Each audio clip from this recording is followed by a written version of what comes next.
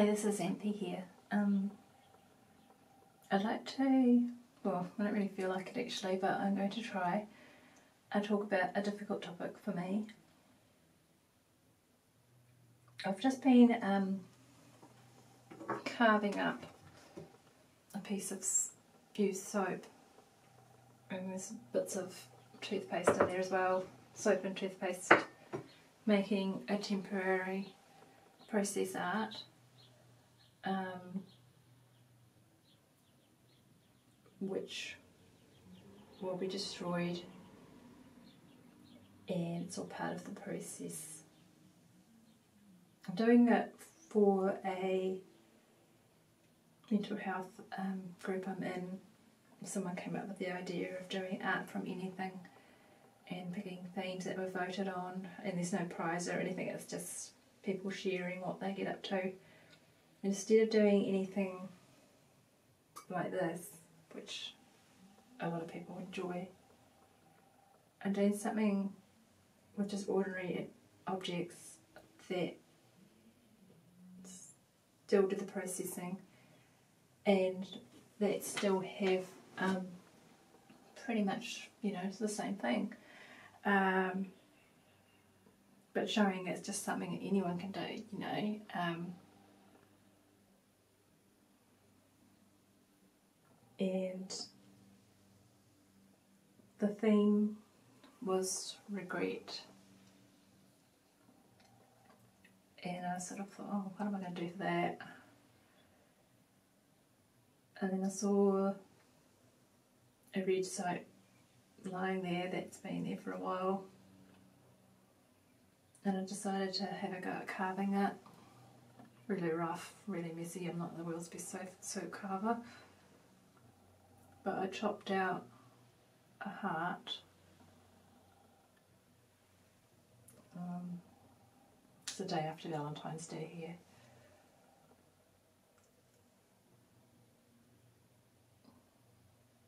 I'd say my longest and most enduring love has actually been creativity in lots of different forms. Um,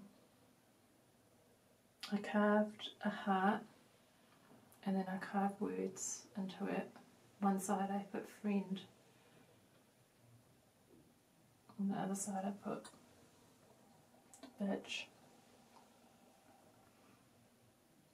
and then I cut it in half.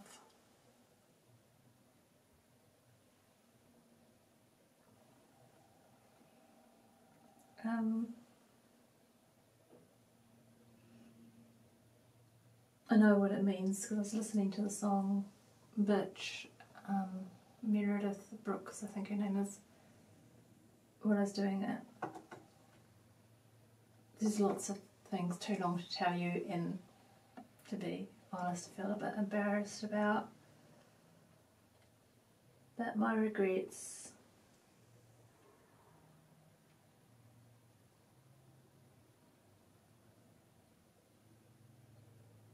I've been losing losing friends. And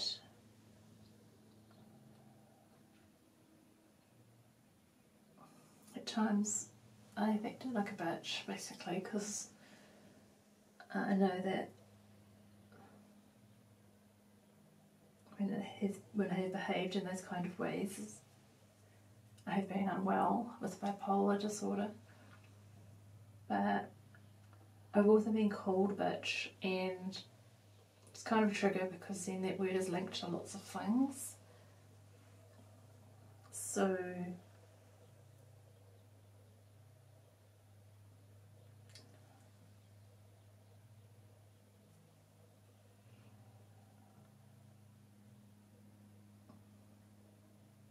I think the first time I was called a bitch was by a friend when I was about 11 years old. On again, off again friendship with a girl that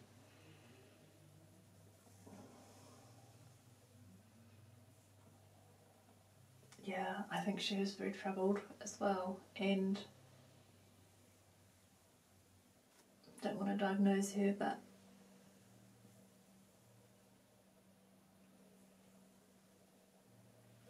friendship was confusing because she she liked to do things that I found really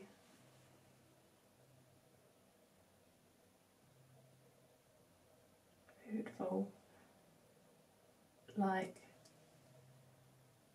kicking your dog and laughing at it, and oh, I, I don't know, I'm getting myself triggered a little bit now.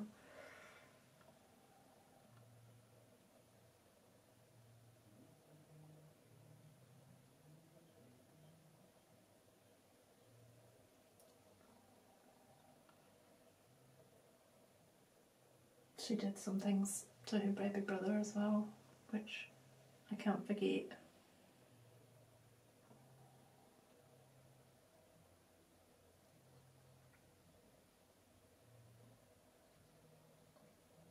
And then somewhere along the way, I think I started getting symptoms of bipolar breaking through in puberty. So at times, though, with her, I'd feel euphoric, and she would also be euphoric at the same time. And then we'd go, go around being a couple of idiots, you know. And um, one of the biggest things that I regret when we were about 11 years old is she was actually bullying a girl and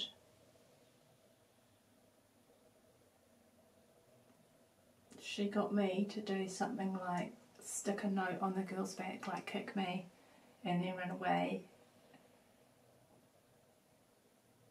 Which I think is horrible. No. But at the time, with that bad influence, I did it. And my friend also called me a bitch because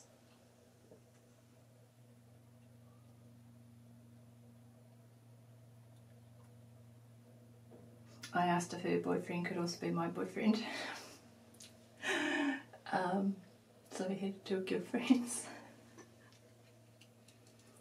So she called me a little bitch, and then I, I didn't know back then that most people had one boyfriend or one girlfriend at a time, kind of thing.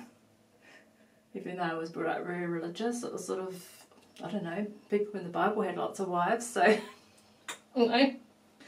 Um, so then the girl that um, was bullied by her, and I feel really bad that at times I was sort of like an accomplice in it because I was with her. Um, and she got me to do that, sticking the note on her back time that time. Um, when we got to high school, she was with her friends and I was walking by myself, and she goes, "She's a bitch." And it felt so horrible, but I thought I deserve it. I deserve it. Yeah, I'm a bitch. and then um, yeah just being um, it's like it's like my behavior could be like polar opposites of the bipolar like um, do things that I wouldn't normally do and I didn't like it when people called me a bitch for sex or um, when I was a bit feisty with with a Minik, someone close to me called me a bitch. And I also I did a year of high school teaching, believe it or not. Um, I had to act, it was just exhausting because I had to act outgoing, act confident, and one of the first classes I I didn't let them go until I was ready. And the girl goes she's a bitch. And I thought at that time yes because I'm faking it you know. And so what I did was act tougher at first and then eased up on them kind of thing this was uh, ages ago so what I'm going to do with this what happened with the friend the the troubled friend when I was 11, 12.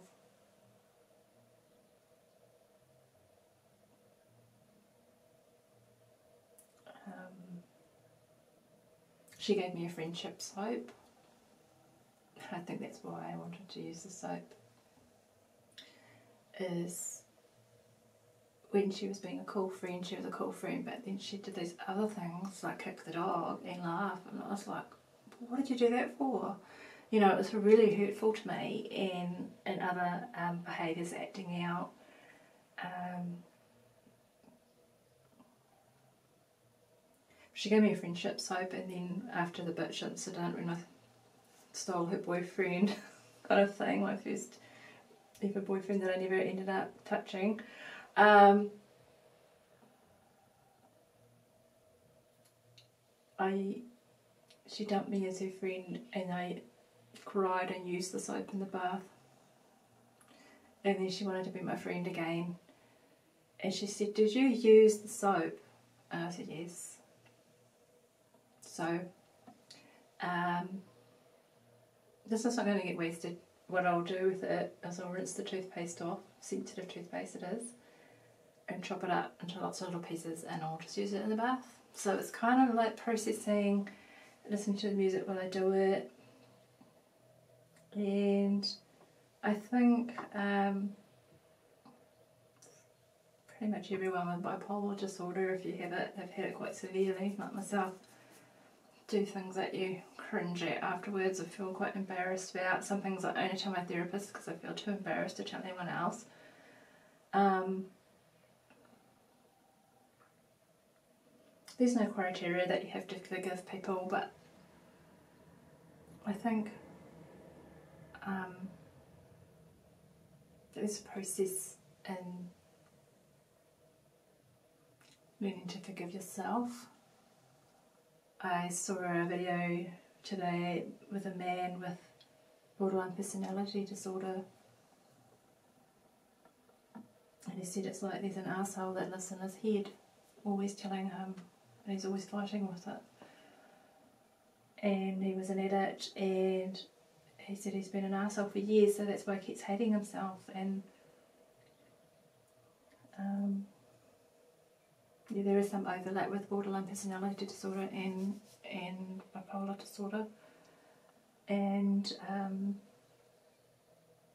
I haven't forgiven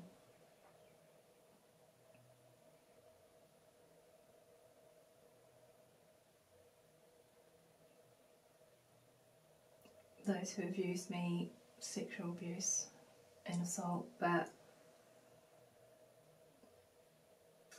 I have been letting go of the hurt and the anger by processing it. It's not a matter of just burying it and it's gone.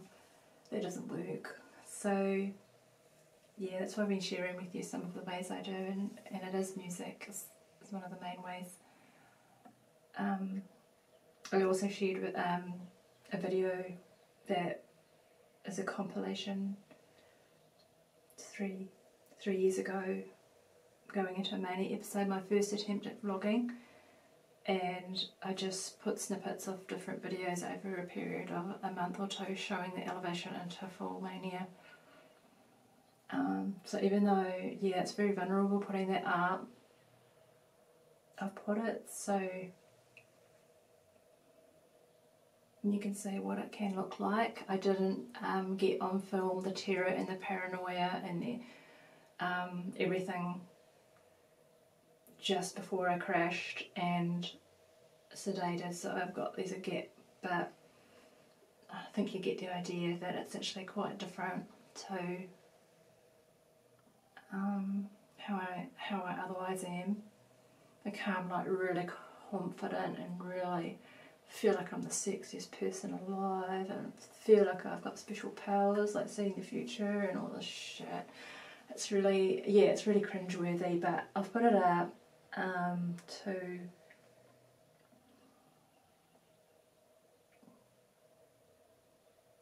just to try and help people to understand more. Um, and basically, yeah, in that state, it just high as a kite, so that's why I'm, I am medicated now um, to try and keep the moods um, more towards the middle and also um, to help be more in control of um, my emotions and impulsive behaviours and things like that. Thanks.